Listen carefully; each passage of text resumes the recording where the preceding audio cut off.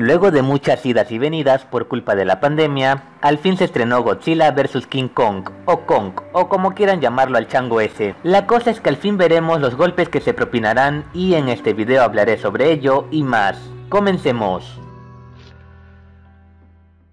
Poco tiempo después del combate de Godzilla contra Ghidorah, el mundo vive en paz con los kaijus hasta que Godzilla comienza a atacar a los humanos. Esto lo llevará a enfrentarse a Kong, el otro kaiju alfa que habita en la Tierra.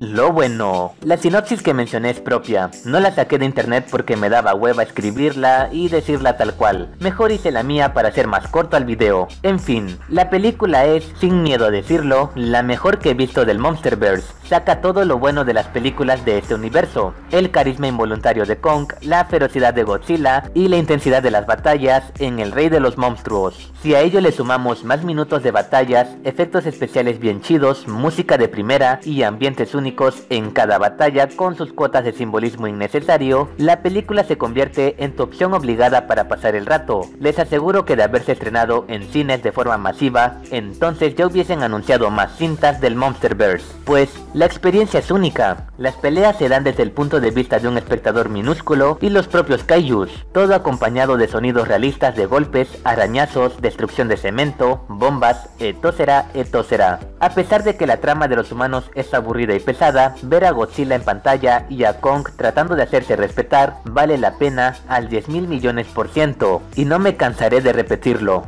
Lo malo. Solo destacaré tres cosas y un plus que afortunadamente ayuda a la cinta. Primero, la trama de los humanos es olvidable y forzada. Eso nadie lo negará. Cuando al fin teníamos personajes más o menos construidos en El Rey de los Monstruos, aquí los reducen a participaciones patéticas y sin sentidos como el padre de Madison que sigue desconfiando de Godzilla y de forma injustificada, o también la propia Madison que sigue ciegamente a Godzilla. ¿Por qué? Pues porque es su cultura y hay que respetarla. Segundo, hay huecos argumentales, pues Madison sigue al moreno de Chucky porque tiene un podcast y se infiltró en las bases ocultas de aquellos que crearon a Mecha Godzilla. ¿Cómo consiguió infiltrarse en dichas instalaciones y mantener un podcast sin que lo busquen al día siguiente? ¿Cómo es que pudieron retener a Kong en una plataforma casi todo este tiempo? Esas son preguntas que jamás obtendrán respuesta. ¿Quedó claro?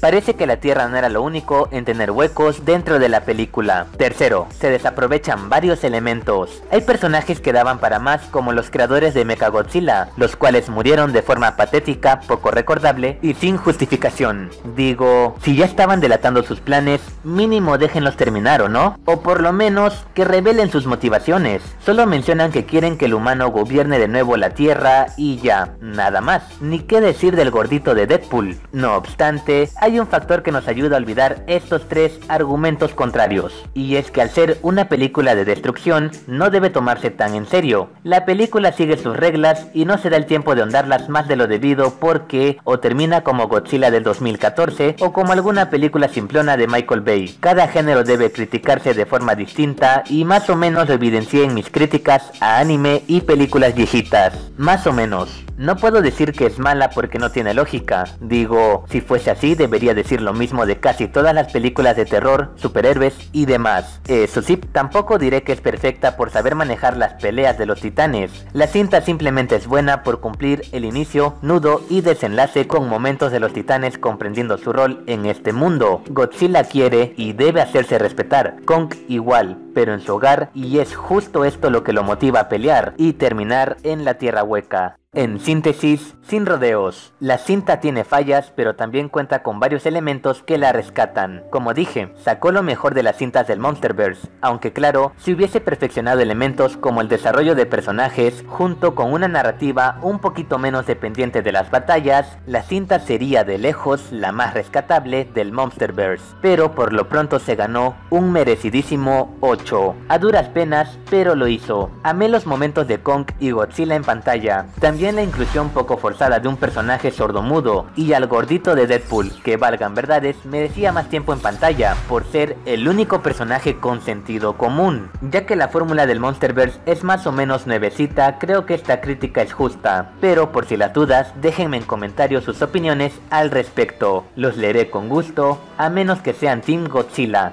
Ya sin más que decir, me retiro. Para hacer esta crítica de forma rápida, tuve que sacrificar días de estudio. Mínimo espero que el video hasta el final o dejen su valioso like. Este fue su amigo el Sam quien les dice nos vemos. Hasta la próxima.